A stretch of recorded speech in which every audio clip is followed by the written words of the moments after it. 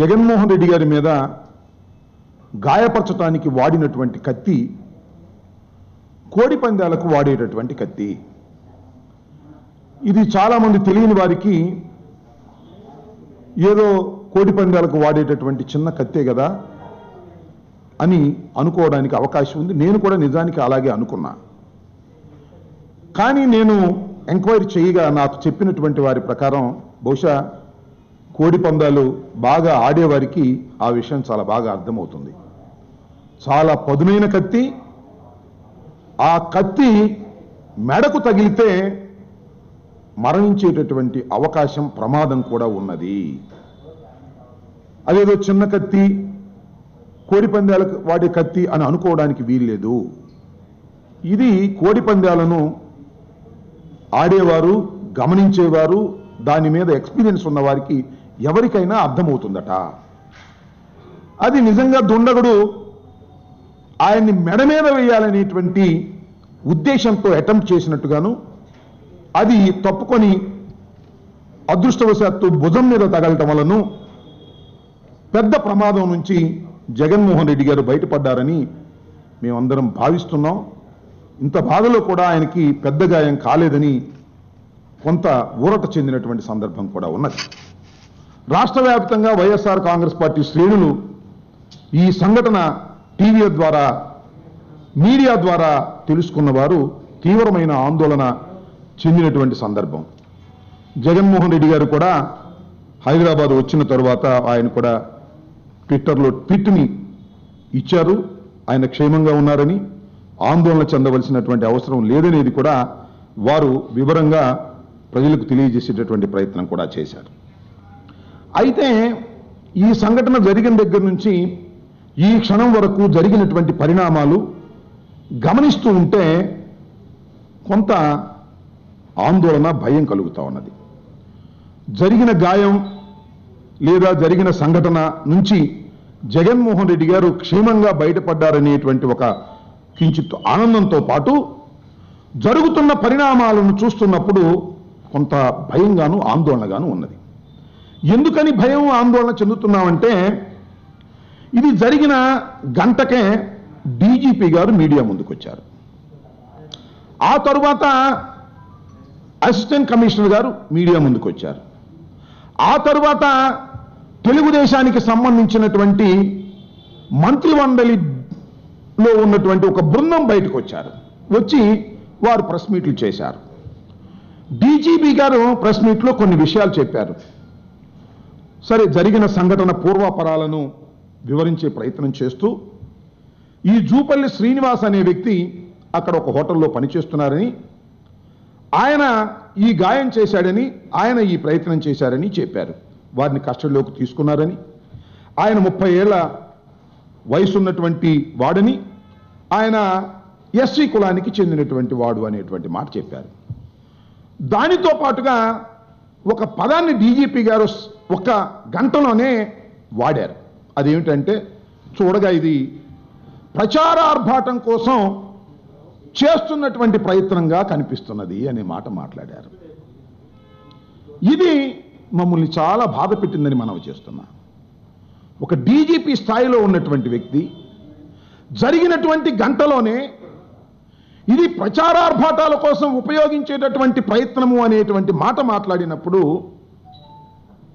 నాకు అనుమానం కలుగుతా ఉన్నది. నాకే కాదు ఎనీ రీజనబుల్ పర్సన్కి అనుమానం కలిగేది ఏంటంటే ఇలాంటి పోలీస్ బాస్ ఉన్నప్పుడు ఈ కేసు మీద విచారణ జరిపితే వాస్తవాలు బయటకు వస్తాయా? అప్పుడే ఇది ప్రచారం కోసం జరిగినటువంటి ఒక చిన్న సంఘటనగా భావించినటువంటి పోలీసు ఉన్నతాధికారి నాయకత్వంలో ఇది జరిగితే ఇన్వెస్టిగేషన్ జరిగితే వాస్తవాలు బయటకు వస్తాయా రాదా? విఘ్నులైనటువంటి ప్రజలు ఆలోచించాలని ఈ సందర్భంగా నేను మనవి చేస్తున్నాను. డీజీపీ ఠాకూర్ గారు ఎవరి ఒత్తిడి మేరకు ఈ అంశాన్ని బయట పెట్టారు? కాస్త ఇన్వెస్టిగేషన్ చేయాలి సార్ మరో. ఇంకా వివరంగా తెలుసుకోవాలి. తెలుసుకున్న తర్వాత మీరు చెప్పాలి. దానితో పాటుగా మీడియాలో ఉత్సాహవంతమైనటువంటి మీడియా చంద్రబాబుకు సంబంధించినటువంటి మీడియా ఎమ్మటే జగన్మోహన్ రెడ్డి గారి ఫ్లెక్సీ దాని పక్కనే జూపల్లి శ్రీనివాస్ గారు ఫ్లెక్సీ వేసి ఈ జూపల్లి శ్రీనివాస్ అనే ఆయన జగన్మోహన్ రెడ్డి గారి అభిమాని వైఎస్ఆర్ కాంగ్రెస్ పార్టీకి చెందినవాడు. ఎస్సీ కులస్తుడు. ఇది ప్రచారం కోసమే చేశారు. అనేటటువంటి ఒక రాజకీయాలతో కూడినటువంటి అంశాన్ని ప్రచారం చేసేటటువంటి కార్యక్రమం మీడియా దగ్గర నుంచి డీజీపీ దగ్గర నుంచి మంత్రుల బృందం వరకు చేస్తున్నదంటే మాకు భయం కలుగుతా ఉన్నది.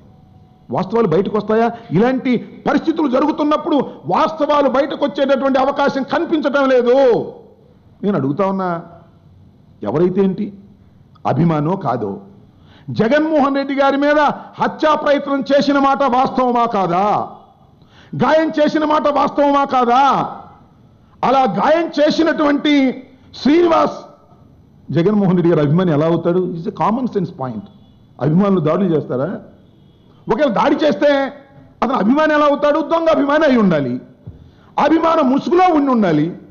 నేను ఒక మాట చెప్తున్నా డీజీపీ గారు. మీరు ఆయన శ్రీనివాస్ అని ఆయన జగన్మోహన్ రెడ్డి గారు అభిమాని అని చెప్పారు కానీ శ్రీనివాస్ గారు పనిచేస్తున్నటువంటి క్యాంటీన్లో ఆ యజమాని ఎవరు? ఆ యజమాని ఏ పార్టీ వాడు? ఆ యజమాని పేరేమిటి? తొట్టెంపూడి హర్షవర్ధన ప్రసాద్ ఏ పార్టీకి చెందినవాడు? ఈయన ఎస్సీ అని చెప్పారు. ఆయన ఏమిటి? దీని మీద మీరు ఏమైనా చెప్పడానికి ప్రయత్నం చేశారా? ఆయన తెలుగుదేశపు కార్యకర్త.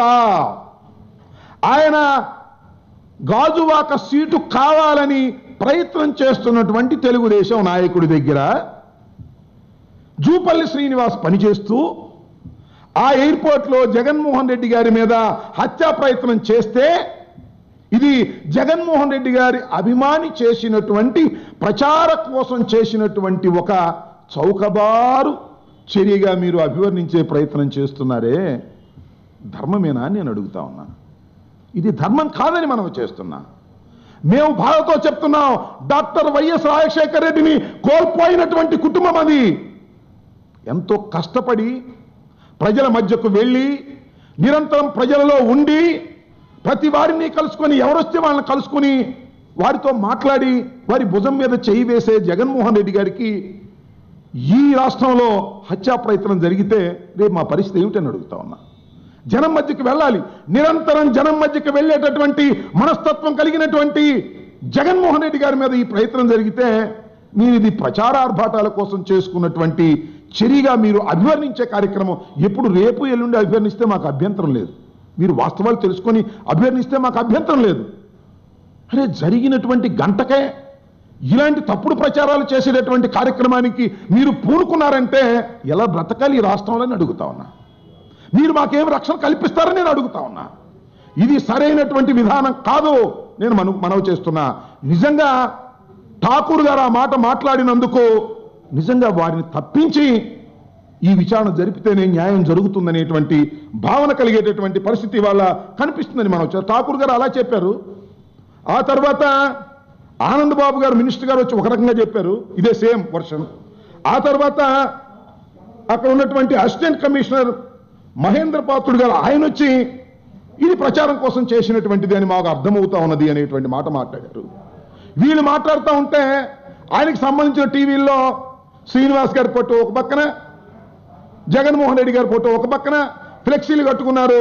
అదేమంటే శ్రీనివాస్ గారి ఇంట్లో రాజశేఖర రెడ్డి గారి ఫోటో ఉంది అనేటువంటి మాట ఇంకోటి మీడియా ప్రచారం చేస్తుంది. అంటే మసిపూసి మారేడికాయ చేసేసి ఇదంతా ప్రచార ఆర్భాటాల కోసం జరుగుతున్నటువంటి సంఘటనగా చిత్రీకరించాలనేటువంటి ప్రయత్నం చేస్తున్నారయ్యా. ఇది అన్యాయమయ్యా. అక్రమమయ్యా ఇది సరైంది కాదు.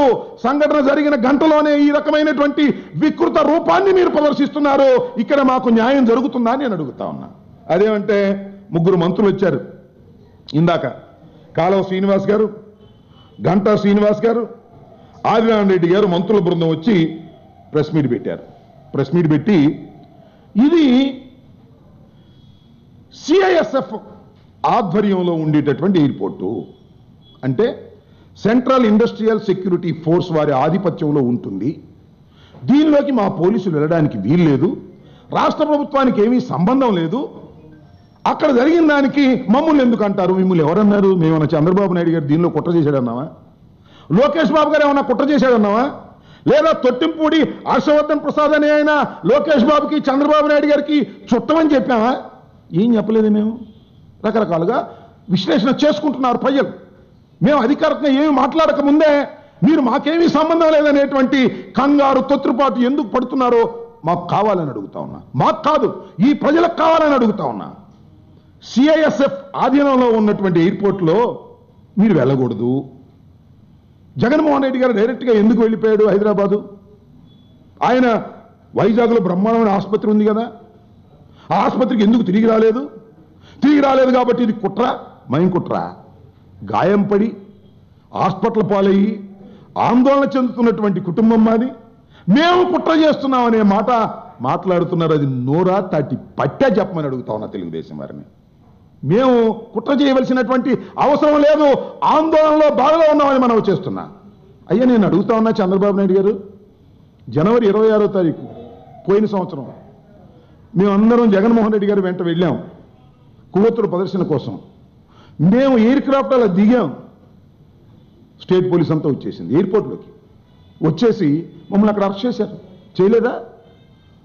ఎయిర్ క్రాఫ్ట్లోకి వచ్చి రన్వే మీదకి ఆ రోజున మీరు ఎట్లా వచ్చారు? సిఐఎస్ఎఫ్ ఆధీనంలో ఉంటే మీరు కావాలంటే రావచ్చా? మీరు కావాలంటే వచ్చి మమ్మల్ని అరెస్ట్ చేసి తీసుకెళ్ళొచ్చు. సిఐఎస్ పర్మిషన్ తీసుకున్నారో లేదో మాకు తెలియదు. నేను మనవి చేస్తున్న మీడియా మొత్తం చూసింది.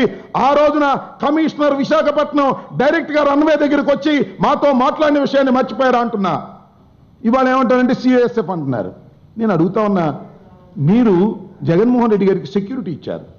జగన్మోహన్ రెడ్డి గారు అపోజిషన్ లీడర్ జగన్మోహన్ రెడ్డి గారు క్యాబినెట్ ర్యాంక్ ఉన్నది. ఆయన చుట్టూరా పోలీస్ బందోబస్తును మీరు ఇచ్చారు. ఎయిర్పోర్ట్ నుంచి వెనక్కి రమ్మని అడగలేదే? ఆయన క్షేమం కోరుకునేవాళ్ళు హాస్పిటల్లో జాయిన్ చేయండి అని చెప్పలేదే సిఎస్ఎఫ్కి మీ ప్రతిపక్ష నాయకుడిని మీరు గౌరవించరా? మీ ప్రతిపక్ష నాయకుడికి ప్రమాదం జరిగితే రక్షణకు రారా ఈ ప్రభుత్వం? మీరు ఎందుకు ఆ రోజు మాట్లాడేది? వాళ్ళ మంత్రులు ముగ్గురు వచ్చి మాట్లాడుతున్నారు మీడియా ముందు. హోంమంత్రి గారు ఎమ్మటే ఫోన్ చేసి మీ పోలీసులు ఫోన్ చేసి సిఎస్ఎఫ్కి చెప్పి జగన్మోహన్ రెడ్డి గారిని తక్షణమే వెనక్కి పంపించండి ఆయన గాయమైంది అని ఎందుకు చెప్పలేకపోయారో చెప్పమని అడుగుతా ఉన్నా.